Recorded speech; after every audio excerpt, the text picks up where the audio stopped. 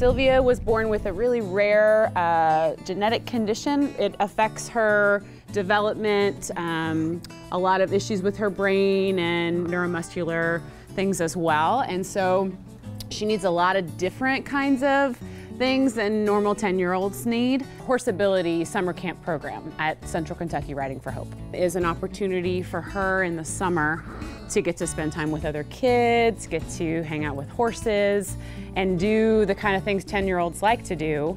Easterseals and Cardinal Hill uh, provide all of the staffing uh, so that the kids can stay at the program all day long. They get their Riding for Hope services, but wrapped all around that are all the other services of a typical day camp. They get to do arts and crafts and have reading time. Um, they get all of their meals and things like that. So it's a full day of programming out at the horse park. In the summer, when school's not in session, there's really limited opportunities for her to get to spend time with other children. And so this is a day, uh, or two days a week, that she gets to go and spend an entire day with other kids. And it's just time that I have to take care of things uh, while she's having fun with other kids.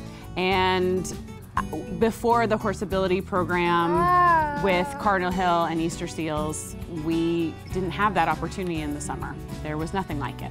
Children's Charity provides a scholarship for Sylvia so that she can attend the program two days a week for the entire summer.